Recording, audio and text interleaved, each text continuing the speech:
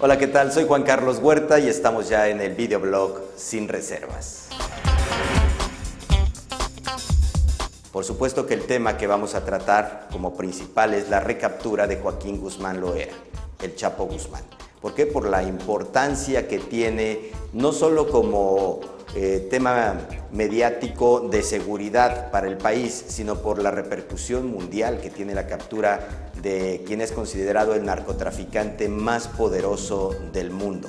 Y según la revista Forbes, Forbes dirían los españoles, uno de los más ricos de este país. Fue el presidente Enrique Peña Nieto quien nos hizo saber a través de su cuenta de Twitter que habían recapturado al Chapo Guzmán. La noticia corrió como reguero de pólvora, no solo en México, sino en todo el mundo. El tweet fue replicado en medios electrónicos, en la prensa, para hacerle saber al mundo que el gobierno mexicano tenía de nueva cuenta al Chapo Guzmán.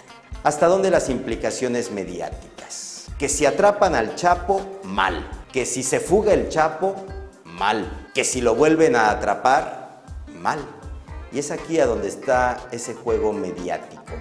El juego mediático que nos hacen jugar los gobiernos voy a esto. ¿Quiénes tienen redes sociales? ¿Qué estrato de la población tiene alcance al tuit del presidente? Vamos a hablar de aproximadamente un 30% de la población que tiene que tener cierto poder adquisitivo. Pero el resto de la población, la que menos tiene, no olvide que en este país hay 60 millones de mexicanos en pobreza. Se entera de estas noticias principalmente a través de la radio y la televisión. El juego mediático viene en esas redes sociales, a donde está la gente pensante, la que creemos que tiene eh, cierta opinión y que tiene cierta injerencia en, en la opinión pública. Bueno, la opinión pública se ha encargado de ridiculizar al presidente. Lo que hemos visto en los últimos días es una guerra de memes, a donde se habla más de las filias y las fobias que de lo que representa la captura del narcotraficante más poderoso del mundo. La mayoría de las personas que hacen uso de las redes sociales pareciera que están más a favor del Chapo Guzmán que del presidente. Y aquí también hay que hablar de otro de los temas que tendrían incidencia, cuando se hace apología del crimen. Para nadie es un secreto que en Latinoamérica eh, empezó, surgió una especie de moda con las producciones de narcoseries. El patrón del mal en Colombia, que cuenta la vida de uno de los narcotraficantes más famosos de la orden. Pablo Escobar Gaviria. El cártel de los sapos, a donde incluso el, el, auditorio se llega a identificar con los personajes y los hace suyos. Y qué decir de la producción norteamericana, pero con actores latinos, de Telemundo, El Señor de los Cielos, a donde pues tenemos los personajes de Aurelio Casillas y de el Chema Venegas. Ese es el que encarna al Chapo Guzmán. Es incluso un tema de vanidades, porque el público femenino hace a estos protagonistas sus ídolos y los convierte en una especie de concurso de quién es más guapo, el Señor de los Cielos o el Chapo Guzmán. ¿Y qué tal el cine? Ya se habla de llevar a la pantalla grande la vida y obra del Chapo Guzmán. Hay quien dice que el propio Chapo estaba a cargo del casting, de quiénes serían los actores que iban a protagonizar esa, esa película.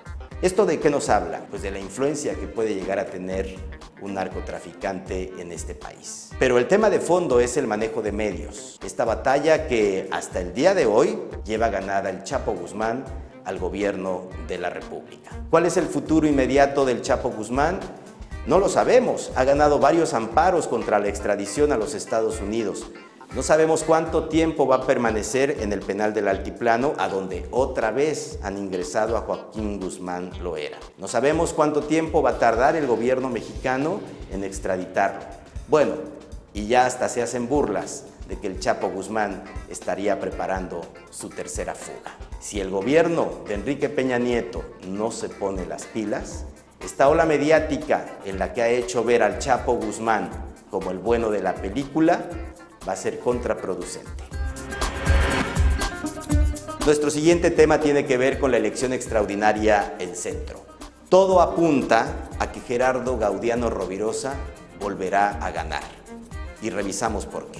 El Partido Revolucionario Institucional está cometiendo los mismos errores del pasado.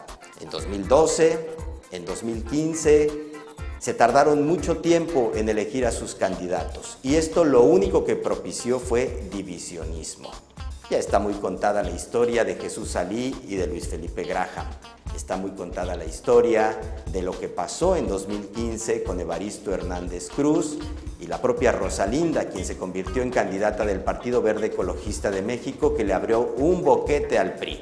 Ahora, el Partido de la Revolución Democrática ha iniciado precampaña con Gerardo Gaudiano al frente. El PRI y el Verde ni siquiera tienen candidato. El camino que sigue la elección extraordinaria, si el PRI y el Verde no cambian los modos, es la victoria segura de Gerardo Gaudiano. En el Congreso del Estado de Tabasco vimos la primera baja. La diputada Leticia Palacio se convirtió en independiente, en independiente a modo del PRD. Ese tema ya lo hemos revisado incluso en videoblogs anteriores.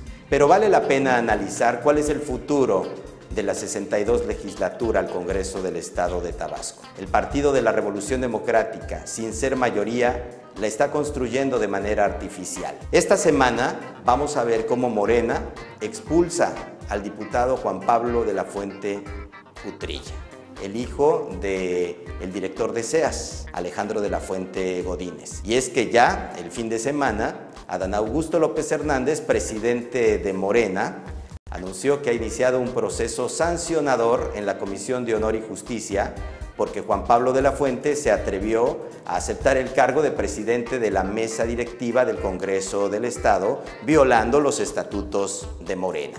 Andrés Manuel López Obrador tuvo ya el asunto en su escritorio y ha ordenado la expulsión de Juan Pablo de la Fuente. Eso lo vamos a ver en esta semana que corre. Juan Pablo de la Fuente pasará en automático, siendo independiente, a formar parte de la fracción del PRD, sin adherirse. Y Silvestre Álvarez Ramón, ¿qué hay con los panistas? Los panistas, Silvestre Álvarez Ramón y María Solange Soler, estarán jugando también a favor del PRD. No es en vano que van a ser aliados en la elección extraordinaria del municipio de Centro que impulsa la candidatura de Gerardo Gaudiano. El PRD ha empezado ya a ganar las batallas en esta, la 62 legislatura. Estamos ya sobre el séptimo videoblog y yo le quiero agradecer mucho su preferencia e invitarle a dos cosas. A que se suscriban a través de la cuenta de YouTube, Juan Carlos Huerta, pero más importante, que nos siga a través de la aplicación Juan Carlos Huerta. Esta aplicación la descarga desde su dispositivo móvil, teléfono celular, una tablet, un iPod. La descarga en donde usted compra sus aplicaciones, es gratuita y una vez que nos tenga en la aplicación va a recibir de manera directa este videoblog. Por hoy es todo, gracias.